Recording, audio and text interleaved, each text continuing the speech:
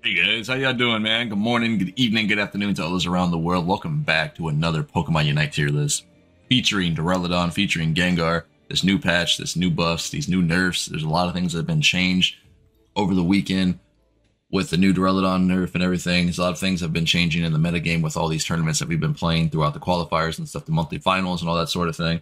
Different teams are running different Pokemon. There's a lot of ins and outs to the metagame, in which a lot of people don't realize. For those of you who aren't up into the tournament side of Pokemon Unite, who aren't really watching competitive play, this may be a little bit insight to how you perform in the future or how you perform now in your games. But either way, let's dive into it. Going to make this off real, real simple for a lot of people because there's a lot of Pokemon here. So little time. So let's do this. First of all, we're to toss up Greedent up here to the S tier. I know this may surprise a lot of people, but again, my thoughts, my opinions, right? Greedent right now is one of the best Pokemon in the entire game, hands down. You can argue that fact if you want to, but just like Lucario, this Pokemon deserves this spot. Like he deserves where he is. He is a defender style Pokemon, right? But he doesn't do exactly what you think he he does. He's supposed to. You know what I mean? Greedent has that ability to be wherever, whenever, around the map. He can go ahead and score plentiful. He can get people to chase him, which that happens every single game, even in competitive play, even in solo queue. It doesn't matter. Someone's going to chase this Pokemon and he's going to create value. He's going to create pressure no matter where he's at on the map. I think Greedent does that quite well opposed to some of these other Pokemon here. We're going to go ahead, put your boy Lucario in topside in the S rank. And there's not really much else we got to talk about. He got nerfed, but he's still super viable. He's still super strong. He's the only Pokemon that, generally speaking, goes up in that top lane for that 1v1 in competitive play in that 1 1 3 meta. Even in solo queue, he's generally topside in that 1v1 situation. If not, you might fight some other Pokemon like Machamp up there, give or take. But generally, it's Lucario for good reason. Sadly enough, okay. I mean, I think they need to do a little bit more with this Pokemon, but he's pretty much in every single tournament game, every single stack, every single competitive uh, competitive match. It's it's to that point, right? But why is he used so much? Honestly, I mean, come on. If you guys haven't figured it out yet, people at the office play Lucario. Let's, let's be fair. This is why this Pokemon has not fallen off the face of the earth in this game yet. They can't nerf him too hard. That's just that's just what I think, dude. I could be wrong. Who knows? We might be seeing another nerf here soon. We'll get to it. We'll figure it out. We're gonna drop down your boy Aegislash down here in the D tier. This tier list has no rhyme or reason. I'm just going Pokemon after Pokemon to Pokemon. Now, being an all-rounder, Aegislash comes into the game with a decent amount of stats, right? Defensive, offensive. He does it well, but at the same time, you don't see Aegislash played in competitive play. You don't see him picked up in competitive qualifiers and championships. You, you don't. You don't really see him played. It's not that he's a bad Pokemon. It's that there's other Pokemon that you can utilize more often or, and better than Aegislash. And he does have a very high skill ceiling to play. He's not a pick up and play Pokemon. He's not a Gengar. You know what I mean? Gengar is not a pick up and play. Aegislash not a pick up and play. There's a lot of Pokemon in in this game right now who do a lot. Just other Pokemon can be more effective. You know what I'm saying? Not not that he's bad. It's just eh. It's a hard spot for a lot of people. I think Serena's also gonna be down here in this D tier. Serena got a buff to stomp, and I hate to put her here because I like playing the Pokemon. I think she's really, really solid. But there's other Pokemon that do it better. You know what I mean? And she's she has that spot in which if you try to place her on a competitive team, there's other Pokemon that can do her job better. Right? To be honest, she got a buff to stomp. It does decent decent damage, but you're still not going to see her as often, if any, on competitive uh, competitive matches right now. Solo queue, you might run into it it's solo queue. Solo queue is pretty much just whatever, right? Because you're playing solo queue. There's no rhyme or reason. People are going to play all DPS in the same team. You know, it's it is what it is. But do I still think she's going to be right here? Yes, yes, I do. We're going to toss up Charizard in the A tier. Now, for those of you who don't know, I've always told you that Charizard is a really, really good Pokemon. He is a counter to many. He is a counter to many Pokemon. And even over the weekend, we had a we had a championship team. We had a team actually win North America qualifiers per se, and they were also running Charizard. It's weird because at the end of the day, it's just like this Pokemon is always going to be viable. He's always going to be good unless they nerf him to the ground, you know. But when you're playing Charizard in your teams, what do you what, what do you have that a lot of other Pokemon don't? Pressure. What do you have that you can cancel out everything else in the game? Essentially, you have your Unite move. You scoop up whoever you want to scoop up and their immediate response generally is to die or go defensive. Charizard brings that pressure no matter what. Because every single team fight, every composition, every fight you do as Zapdos, Drednaw, whatever, if you have your Unite move, you know what I mean? If you're Charizard and they don't know or they don't know if you actually pop your Unite move just yet, even if they're paying attention to it, you always have that pressure. And I think Charizard has that going for him. But there's other Pokemon that do his job too. Just as good, if not better. You know, that's why they're in S rank. But maybe Charizard will get up there to a certain degree in S rank when other Pokemon get nerfed. You know what I'm saying? But hey, we'll see. We'll get into it. Crustle? Uh, I, I hate to see it, right? We all hate to see it. Crustle is meh. He's going to be a D tier Pokemon for me and a lot of other people out there, a lot of other, you know, average Joe's content creators. I think he's just not great. Now, he's good in one composition, which is score composition.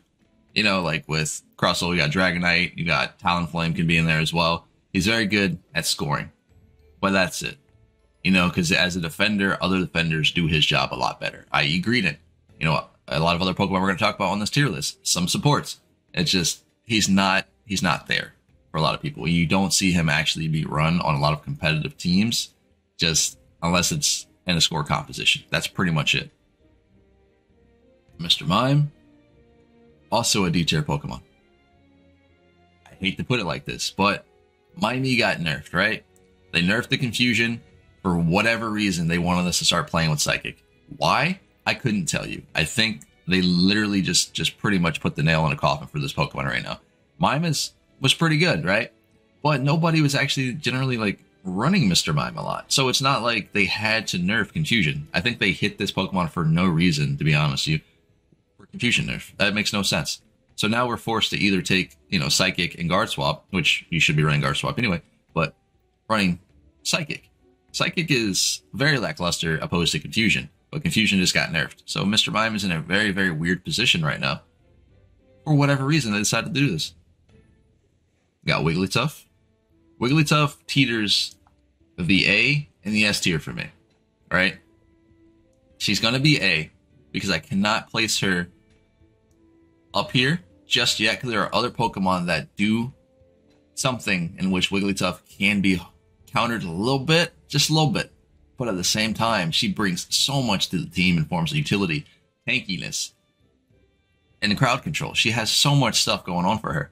Whereas some of these other pink Pokemon do as well, and they bring a lot of different competitive, I guess, elements to your team. Whereas Blissey here, for instance, is going to be an A tier Pokemon as well. Or for her what ability? If she can give everybody helping hand, she gives everybody her crowd control immunity. You know what I'm saying? Whereas in a bot lane in a 1-1-3, she is super, super good. Being able to give Duraludon unstoppable is fantastic, right? Because they, they can't lock him down. They can't be crowd controlled. She just brings so much in that aspect in a 1-1-3 situation. Whereas if you're running Blissey into a Wigglytuff, you can give your team unstoppable as well. And to Sing, Blissey does a lot of work. And I think these two counteract one each other. But at the same time, if you have if you have a Blissey and the enemy team has like an Eldegoss, for instance, or they're running a um what do you call it? If you're running a Wigglytuff and they're running an Eldegoss, for instance, you do have, I guess how you would say, more more engaged, if that makes sense, because you have that sing, you have the back out situation. If you want to walk out, give people unstoppable with uh, Bliss Blissey, you have a lot of uh, abilities both these Pokemon. And I think it's very, very hard to just toss everybody up in the S rank, even though they are S rank quality. All depends on your team composition. And then you got your boy Slowbro. Hands down, S rank Pokemon. Y'all should already know this. Everybody and their brother back in the day was playing Slowbro, right? But they were playing what? Scald. We were, we were doing damage. We were doing DPS. Why? Why though? Because just like every other defender Pokemon out there, you wanna you wanna do damage. It doesn't make any sense. In solo queue world, everybody plays DPS. Nobody legitimately just like, hey, I'm a support main. Hey, I'm a defender main in solo queue. It doesn't happen. Let's be honest. You may get that one player in which actually plays a defender Pokemon in one of your games, and you're just like, oh yes, we might win. And then you may go 10 games after that, and everyone wants to play DPS and Slowbro included because people play him Scald for some reason. But when you're going full tank, this Pokemon does it all. He does everything you could possibly want. You take that Surf. You have his Unite move that can stop any Pokemon in the entire game. You literally just remove them from playing. They might as well just put their controller down because they can't do anything else. And in a competitive situation where you're playing in a stack, you're sitting here, you're talking in Discord or what have you, bruh, you press the unite move on the target. guys, I got him. Kill him. Easy. You move on. Slowbro has that Surf Plus, which when you upgrade Surf, what happens? We all know we can't play the game when we walk into a Surf. It, that, that's what he does. He does it very, very well. And being in that bot lane for that three stack, he's pretty much unkillable half of the time if you if you play it right. And he has that potential to surf. You know what I mean? He does really, really well for his defender role, opposed to some of the other defenders like Snorlax, for instance, who kind of fell off a little bit, just a little bit. Now I'm gonna probably put him in either B or C tier. For me personally, I think right now he's gonna probably be a C tier Pokemon, just like your boy, uh, just like your boy Mamoswine. But for Blastoise, for instance, considering Blastoise did get his buff, we have to. Yeah, I think I think he's going to see a little bit more play, just not to the level of like Slowbro, not to the level of like Wigglytuff, you know, because he takes a spot in that team composition. You know what I mean? But he does do a little bit more damage. But as a defender style Pokemon, you need to be there doing what? Defending. And for his crowd control, you take Surf, but his Surf isn't as good as Slowbro's. So I mean, it's a toss up but I think he's in a better position than Snorlax as well because he does do damage. He does get that unstoppable. He's not just a per se a wall in which you can avoid being, you know, Snorlax. Because a lot of Pokemon also get unstoppable, so Snorlax trying to wall you off doesn't really it's not that effective in that situation, especially when some Pokemon can actually do a lot of damage to tanks, you know what I mean? But, you know, each their own. You got Mamoswine in the C tier. Hate to do it like that a lot of teams have tried been running had tried to run Mamoswine inside the we call it the tournaments and stuff, the qualifiers. A lot of teams have tried running this Pokemon. He does okay, but at the same time, in that bottom lane, you're a melee Pokemon trying to get pressure, right? Trying to get your other DPS Pokemon leveled up, your IE, your Venusaur, IE, your Duraludon, or whoever your DPS is in that bot lane. He does an okay job. He just doesn't do as good as some of the other defenders and or supports that you could place. You know what I mean? You got Absol straight up in D tier. He's I'm sorry guys, Absol fans out there. I apologize. It is what it is. You see Absol played how much? That's what I thought. Not very much at all. In solo queue, yeah, sure, run into a game of Absol, no problem. In competitive stack, it's just not viable. It's really just not viable. And I hate to be like that because he is a very cool Pokemon. He's very fun to play. But when you're sitting here, you're trying to fight a Zapdos, you're trying to fight in these choke points. A lot of a lot of players they just don't got it. You know, they're they're built different. Like like literally, they're just they're not that great, and it, it is what it is. It's not the, the call out Absol being horrible. I think it's just the, the micro and the macro is is different when it comes to Pokemon like Absol, Gengar, some of the other speedsters. Whereas I want him to work competitively, but I just don't think Absol's there yet. I just don't do it. And you have Zeraora as well. And for those of you who don't understand why, for example, Zeraora has a passive ability called Volt Absorb, which he does more damage depending on how much damage you do to him up to a cap. Sounds great, right? A lot of people don't even understand his passive ability. They have no idea. But on top of that, he has this other ability called his Unite move, which has pretty much been gutted into the ground and he gets his Unite move at level 10. So what does that mean? Generally, Drednaw is spawning when you're give or take level 7, level 8, sometimes level 9 when you're ahead. But even when you're level 9, you still don't have your Unite move. And if an enemy team knows this, you know, playing into a Zeraora, they're going to try to punish you a lot more. And in a competitive situation, you're playing against a stack, that stack is probably going to do what? They're going to punish you guys because you guys have a Zeraora. You're not ready for this Drednaw fight they either have a Cinderace or a Venusaur, and they're about to about to teeter to get their Unite move, and you don't have a Unite being Zeraora until you hit level 10. So you don't you lose a lot of pressure trying to fight off for that Drednaw. And a lot of people probably don't realize that right away. But at the same time, those that do, that's why they're not running Zero Zeraora competitive. You know what I mean? And solo queue, you might see him, but this is solo queue. Completely different. You got Duraludon here, in which we'll get to. Well, we will get to him. We're gonna take up Talonflame up in the A tier because this Pokemon overall is just he's just busted. Like he is busted in the right hands. Because not everyone's going to pick up and play and be able to be super good with this Pokemon, but his secure is super solid. His mobility is super solid. He can also be run into a, uh, a score comp, you know, Crustle, what have you, Dragonite. Now, when it comes to the jungle, I think he is one of the better jungle Pokemon in the game right now. Hands down, up there with Greninja, up there with Gengar. Yeah, I say it, Gengar. I'm biased. It is what it is. Now, in the right light, Talonflame is absolutely disgusting because everybody hates to see it. We get Drednaw down super low. We get Zapdos super low. Talonflame comes out of nowhere, Brave Bird. It's just immediate impact, and he steals it. I mean, it feels bad, but it's something you have to deal with. Every single game you run into an enemy Talonflame player, you have to be ready for it. And not a lot of teams are competitively. I mean, when you guys sat down and watching all these the tournament plays and stuff, some teams are running this Pokemon. And at the end of the day, even in solo queue, when you run into this Pokemon, that's a fact that you have to deal with every game you run into a Talonflame. His Unite moves up pretty much all the time. He's got Brave Bird and or Fly. He's ready to steal these objectives. Just be weary for it. If you're a good Talonflame player, we all know you can teeter up in that S rank. We all know you how good you can be in a team.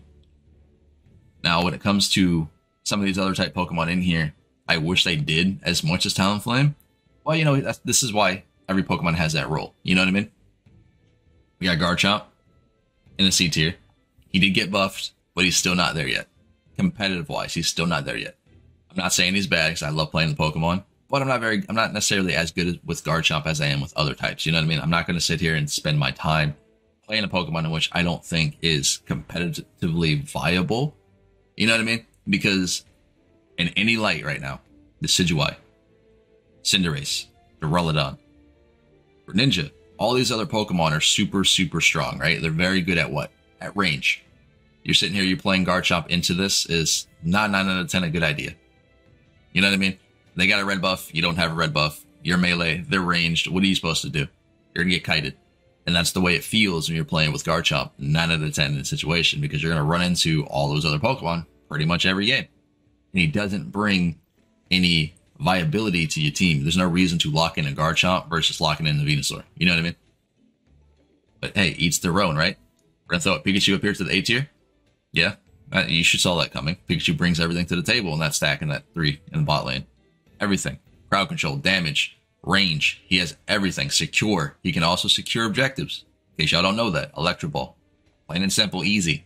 Easy snipes, right? Electro Ball does more damage to what? Lower health targets. Easy. You know what I mean? Pikachu also has a Unite move, which charges relatively quickly. And he's giving Buddy Barrier to everybody. So I'm assuming if you're a competent person, you're running Buddy Barrier on Pikachu. You know, that's just me. Not shots fired to anybody. I'm just saying. you know what I mean?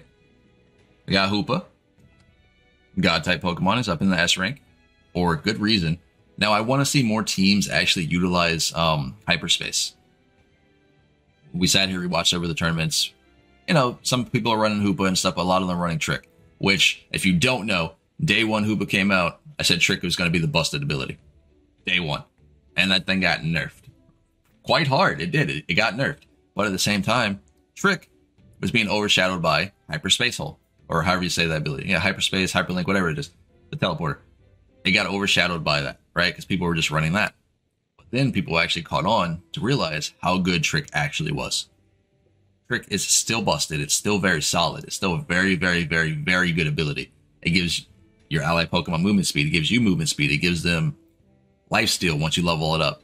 It gives them so much. It gives them a shield. There's a lot of stuff that Trick does. And if you're running, I know, hear me out. This is me. I'm a big advocate for this item. If you're running Amplifier, if you're running Shell Belt, you can have Trick up more often on top of your Shadow Balls because your goal with Trick is not to actually just be the top damage dealer. It's the fact that you can just stun and stun and stun with the cooldown reduction. It does ridiculous numbers, but you have to be relatively good with Hoopa to actually perform well. And in a competitive situation, if you're running Hoopa, you already bring that to the team. You bring a whole different element to the game. You change the game just by playing Hoopa because you have Trick, you have Hyperspace. Hoopa right now has changed the game overall on how we perform in Pokemon Unite. He brings something completely different to the table that no other Pokemon does. And I think he deserves this S rank tier, this S rank spot. And I think you guys would agree with it. Either way, Hoopa is here to stay in this game until they actually they nerf him even harder or we get somebody else that can do what he does, if not better or more. You know what I mean? We're gonna see him a lot. And I hate to be like that, but we are. I'm sorry if you're tired of him. he's here to stay. We're gonna take Ninetales up here in A rank. I know, right? Ninetales moves up from D, moves up from C, moves up from those ranks in which we see every other tier list. She's definitely gonna be an A tier, hands down, no problem, because she brings so much crowd control to the game. She has her Aura which gives her mobility now. Even though they nerfed the damage a little bit, that doesn't matter. Who cares? Now, at the end of the day, your Ninetales, you weren't actually there to do the most damage every single game. You weren't you weren't taking that DPS spot from somebody else. You know what I mean? Because in competitive play, you don't see Ninetales, right? But now with this buff, you're gonna see teams run this Pokemon in that 1-1-3 meta in the bot lane. She's actually actually very toxic to play against, especially when you're running Ninetales, you're running a Wigglytuff, and then you have, i.e., another one of your, you know, your picks down there in the bot side. She brings so much crowd control. You got Wigglytuff Sing, you have Ninetales crowd control with with freezes. It's very hard to deal with for people who aren't ready. And I think once other teams realize this, and some have already, we're going to see it a lot more. I think Ninetales is in a very, very solid situation right now. And she also has the highest special attack in the game. So regardless if she got nerfed, it doesn't necessarily matter. She will do damage. But hey, that's my opinion. You know, everyone's going to be a little bit different. We're, we're going to get to it. We're going to check it out. We're going to bring up Eldegoss to an A rank. Yes, Eldegoss is very, very good. She can teeter S rank just like Wigglytuff and Blissey, right? But there are other competitive Pokemon and and in solo queue that do her job, if not better, because you have to compete with Wigglytuff, you got to compete with Blissey and Slowbro now. So I think she has a harder time being able to do that when there's so many other spots that are open, because you can't sit and stack your team with supports. You know what I mean? Especially when you also have Hoopa there. So you got to consider Hoopa. You got to consider so many different options for Eldegoss. But when she is in your team, she brings the shield, she brings the healing. That's her job. And that's it, to be honest with you. She's not necessarily up in the fight, taking damage like Blissey and Wigglytuff. She's not doing that per se. But she does bring her own choice of playstyle to the teams. You got your boy Venusaur. We're going to put him in A rank. I know he's not S rank anymore. He's not S rank. And here's why. Duraludon is in this game. That is legit why. And the only reason this Pokemon is not in S rank. Because you have to compete with other types of Pokemon in that role. So for instance, when you're in that bot side and you're trying to feed experience to your Venusaur, Duraludon has a better chance of just sniping that experience, has a better chance of just getting experience safely opposed to Venusaur. Now, even though Duraludon got nerfed, he is still in every single game in competitive. He's in every game that you typically run into in solo queue. Is one of the highest pick rates in the game right now. For good reason. He does a lot, right? But still, when it comes to him and Venusaur, he has that better option. He has that safer role by playing Duraludon into the Venusaur, if that makes sense. It's easier to feed him farm. Now, speaking of Duraludon, I'm going to put him in S rank, and that should have been no, you know, no contest. You know, between S rank and A rank is where Duraludon is going to be, because I can't just stack everybody up in S rank, but I can stack certain Pokemon in which we all know are actually relatively very, very solid and Duraludon being that Pokemon, in which he did get nerfed, right? But still, just like the facts I mentioned a second ago, he's still super viable, and he's going to take this spot in this S rank. He has ridiculous secure in that bot lane for Drednaws. He has a lot of safe, I, I guess how you would say, um, playstyles, because in a competitive situation, you're playing positioning, right? And a lot of people in these team stacks they're, I mean, you got to assume they're generally pretty good, right? You got to assume that, like macro, micro skill. So when you're sitting here, you're playing Duraludon, you're playing Cinderace, you're playing Greninja, you're playing all these ranged Pokemon that really, really depend on positioning. Duraludon can perform extremely well when you go with the Pokemon. And just like Greninja, who will be A tier for me, who should be A tier for a lot of Pokemon, and somewhat S tier for a lot of other people, he does a lot, right? He brings up Cinderace playstyles. He brings up that that long range positioning, whereas you can do the same thing with Duraludon and Cinderace and another Pokemon we're going to talk about on this list here in a second, which is going to surprise a lot of other people. But Greninja also brings a lot of utility. It brings his smoke screen, it brings his double team. It's a lot harder for enemy teams to lock you down, especially as a good, good Greninja player. And in solo queue, he's an absolute monster, meaning this Pokemon can just stomp a game in solo queue because he has so much potential to just carry the game. But at the same time, he has always been a solid Pokemon. He hasn't had a nerf in a long time. He hasn't had a buff in a long time. He's in a very, very good spot right now in the metagame. Just overall. We got Sylveon down here in the D tier. I know we're to get hate for it, but it is what it is. Sylveon is just not competitive, competitively viable. You know, and now here, here's where I'm probably to get stabbed at. Because we all know I'm not to put Gengar in D tier, because I'm a biased Gengar main.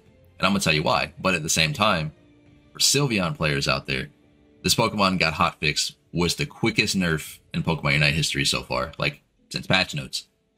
As soon as she came out, essentially they nerfed her because Hyper Voice did way too much damage, right? And then now she is what she is. But in the same sense, I think they hit her a little bit way too hard. And we might see a buff here soon on Sylveon. And if we do, she definitely is going to be moved up because she does have potential to carry games. But at the same time, in a 1-1-3 meta, if you put her in bot lane, she has easy, secure at bees because she has hyper voice, right? But at the same time, she's taking a, a spot away from a DPS on your team that can be more viable into the later games. You know, if that makes sense. And then her Unite ability is not necessarily offensive, but more so defensive.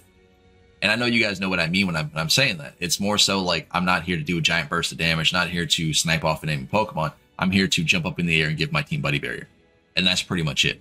You know what I mean? So as a DPS, she needs that damage potential. She needs that damage to be a little bit higher than what it is to be more so viable for a lot of people to pick her over other Pokemon. Well, that's just my thoughts. If that makes sense to you, let me know. You know what I mean? Trevenant, I want him to be super good. Like I, to me, I think he's going to be a D tier just because for a lot of people out there, there are some very, very good Trevenant players out there. And some of them are in my Discord. Some of them actually play Trevenant, like very, very good. Now, besides them though, your average Joe player is not going to be super good with this Pokemon. Your average Joe player is also not going to run Trevenant in competitive qualifiers, championships. You're not going to see him that often, you know, if, if at all. And that's the differences. In solo queue, sure, you may see a Trevenant here or there, and they may do really, really good. But how far is that in between? You know what I mean? The Pokemon does very, very well at removing enemy Pokemon. So, for instance, he can move another Pokemon out of a team fight. He does that pretty well. But in a solo queue world where that's a skill shot and that's kind of hard to do, let alone when you're playing in a, like I said, a solo queue environment as a tank. If you initiate this fight as a tank, you're like, okay, where's my team? Where's my team at? Okay, they're not, they're down over here farming dinos or they're fighting this Corphish. They're not paying attention. So as Trevenant, you don't bring a lot of damage, but you bring that little bit of sustain that can allow you to survive in team fights. That's just about it. That's it. Dragonite, for me, is going to be a B tier. Other than that, he is a very, very good pick when it comes to playing a score comp with, you know, like Crustle or, or Talonflame and stuff like that. Other than that, he doesn't do that much unless you're just playing with Hyper Beam. I know Outrage is the thing and people do like playing with Outrage, but Outrage just, it doesn't compete with Hyper Beam. And it is what it is. Hyper Beam did get nerfed.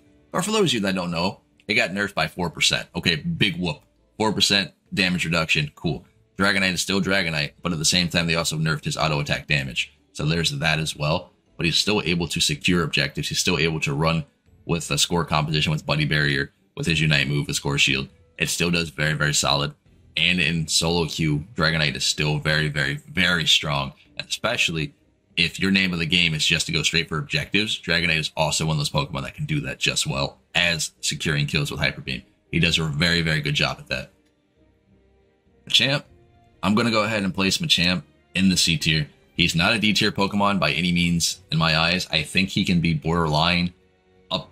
He can move up a little bit, but just in, he has a lot of different, how you say, like team compositions in which he works with, which he doesn't work with. And then at the same time, he's also taking that spot from you on top side versus with Lucario, right? That's the only other spot you're going to see Machamp. He, you're not going to see him in the jungle because there's other junglers that do his job better in that situation. But in top lane, it's generally just going to be Lucario Machamp or just Lucario versus another off meta Pokemon, for instance. And I think he brings a lot to the team if you're running Dynamic Punch over Submission. Because personally, and just like you should already know this, in a solo queue world, you know what you're going to do as a player, but you don't know what your teammates are going to do. So if you're sitting here playing Machamp, you're running Submission in solo queue. Here's the thing. You run in, right? Where are you going? Straight for the DPS. Cool. Like that's that's in your brain. That's what you're going to do you get that DPS with submission, your teammates are focusing the tank. Your teammates aren't there. Your teammates are not paying attention to you. And that's the downside with the Pokemon that, that when you're running submission. But in a situation, if you're running submission in a competent team and a five stack or what have you, it can work out, but it doesn't do as well as dynamic punch because dynamic punch gives you that mobility, which submission gives you that movement speed. I get you, but it gives you this mobility to be unstoppable. It gives you this situation where you can stun targets. You know what I mean? Like an AoE stun, fantastic ability. Now, in the same sense, I think Machamp does bring a lot to the team in terms of his Unite move. But that's just, that's it. I think he takes a lot of wear all and skill to play this Pokemon. He's not necessarily super easy for a pickup and play because you got to realize how much damage he can take, how much he can deal. There's a lot of things that are ins and outs to this Pokemon. Well, that's just my thoughts and my opinions, you know? They, they could mean nothing to a lot of people, you know what I mean? Cramorant. Uh, back where he has been for a very long time in the D rank. I'm sorry, guys. I'm sorry. We're not going to see Cramorant in competitive play. It's just not going to happen.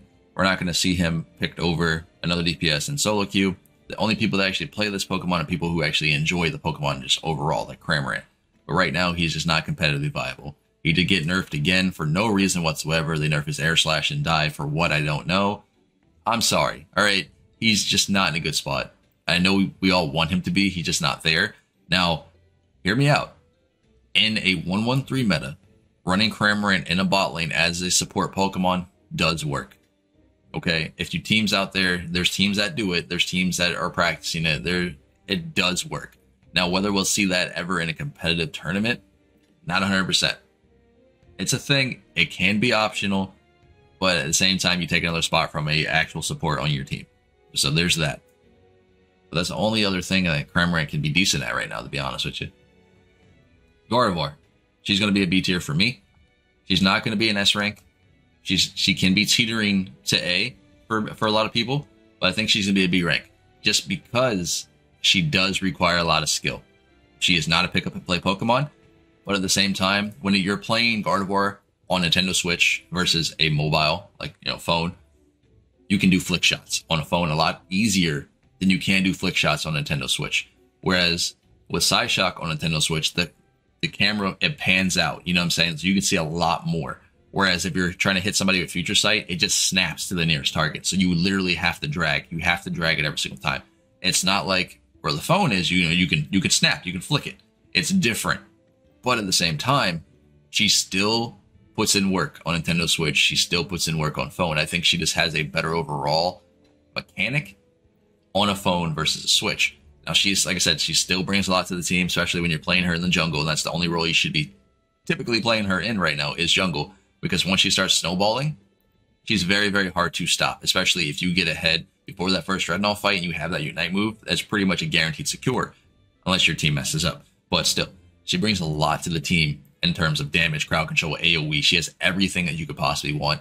The best thing that they've done to her is actually change her level ups. And thank you guys for doing it because we needed Gardevoir to actually be viable for people actually wanting to play this Pokemon and do well. Instead of just going AFK when they get fall behind in experience, because that's how it was back in the day.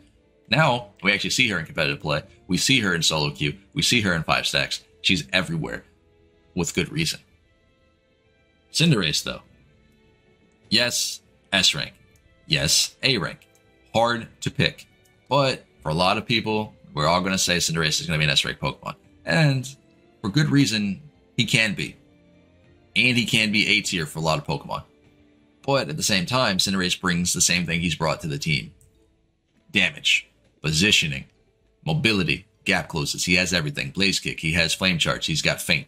He has so many tools to keep this man alive, and at the same time, at catching other enemies out with blaze kick. He does a lot. He can secure objectives with his unite move by stepping out of the bushes after his fight. Come on, we see it happen all the time in solo queue. And in competitive play, you play positioning well. Just with this Pokemon, with the Duraludon, you got Blissey protecting you. You're golden. Like your team doesn't need much else. Like you keep these these targets alive in your team compositions, nine out of ten and they're going to carry the game. I'm sorry for the car in the background, boys. I can't do anything about it. I, I'm sorry. But, like I said, if you're protecting these Pokemon and your team compositions with Blissey, Wigglytuff, or what have you, just tell your supports, stay on your ass. Because once you're protected, you're golden, right? That's it. You're good. And Cinderace can play that quite well. You got Decidueye here. Yes, you're right. He's not D tier no more. Yeah, he's moved up. He's not he's not C rank, he's not a B rank. He's an A tier. Crazy, I know, right? But just like the tournament plays, just like the VODs, just like solo queue, everything about this Pokemon, people talked a lot of smoke about. Like they just said he's not great. He's like very, very bad. He's never going to be a good Pokemon until we saw tournament play with other teams running this Pokemon, doing well. And the thing is, considering Duraludon is in this metagame, Decidueye can compete very, very well. And at the same time, he got his buff to Spirit Shackle. He got he got multiple buffs recently. Pokemon is actually very, very solid. And I've said this before. He's a very, very good Pokemon, but at the same time, it's awareness, it's positioning when it comes to Decidueye. But in a competitive situation, whereas if you're running Decidueye into a Duraludon, you have a safe pick. You have a safe DPS on your team that can do damage. And considering Duraludons in pretty much every single game, Decidueye is a lot safer versus some of these other Pokemon here. Some of these other Pokemon like Venusaur or Absol or Zeraora that you're going to see anyway. You know what I mean? It's he can stay out of range of Duraludon's abilities with Spirit Shackle and do damage and take out targets. He's very, very good at doing that. At the same time, he's very good at stealing objectives with his, with his abilities. Now, at the end of the day, he still has his universal problem being super squishy, being able to just blow up immediately, being the throwing bird, as a lot of people like to say. But overall, he brings that damage. He brings that, I guess, how you can say, like utility to a team in which not a lot of other Pokemon do. And I think he's in a very, very solid position. You could argue he can be a B tier. You can argue he can be at S rank. But right now, hands down, very solid pick right now. Just you have to get better playing this Pokemon with positioning. Now, for everybody's bread and butter, Gengar. Where is Gengar rank? I don't even want to put him on a tier list because I'm gonna get trashed for it anyway. But for me, we all know where I'm gonna put Gengar. Gengar is S tier for me. Gengar is S tier for your mains out there. In solo queue, this Pokemon's an absolute monster in solo queue.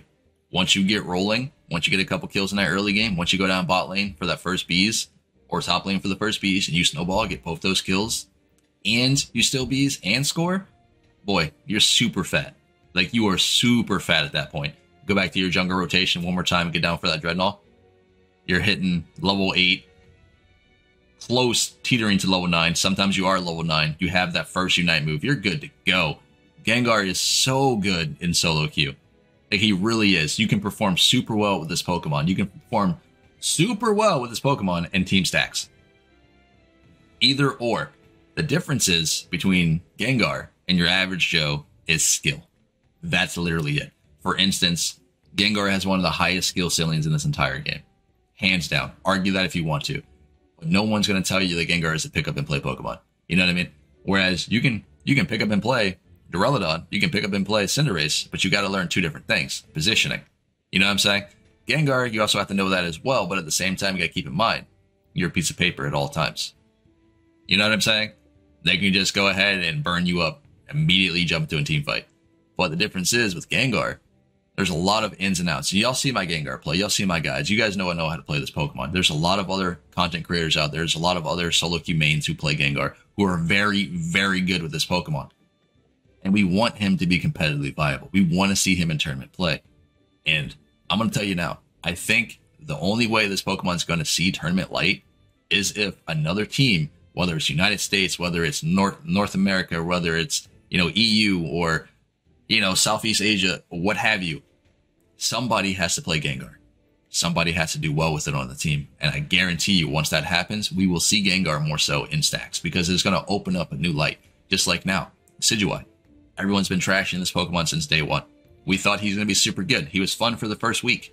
And then we realized how bad the Pokemon actually was. And then he got buffed, for instance. But I think it's going to take something like that to see how good Gengar actually is. But hey, this is just my thoughts and my opinions. I really enjoy the Pokemon. I'm super biased for him. You can't tell me nothing. You know what I mean? But in hindsight, in competitive play in a 5v5 stack, and you're sitting here playing your Discord, it all depends on you and your team. If your team thinks you can perform well with this Pokemon, keep trying. Keep having fun. Keep getting better. Now, in the solo queue world, Gengar will sit in S rank for me in solo queue when you're really good with this Pokemon. But just like I said, in a 5v5 stack and an actual competitive play, you gotta have your team to say, hey, that's fine. You can play Gengar. You know what I mean? If you're not good with the Pokemon, don't try it type thing. But hey, this has been Pawse Plays. Make sure you smash that like button. Make sure you join that Discord. Tell me I suck. Let me know your thoughts and your opinions on these Pokemon here. I know we can move things around. I like I like doing these tier lists just because I can hear everyone else's opinions. But hey, stay safe out there. I will catch you guys in the very next video. See you later.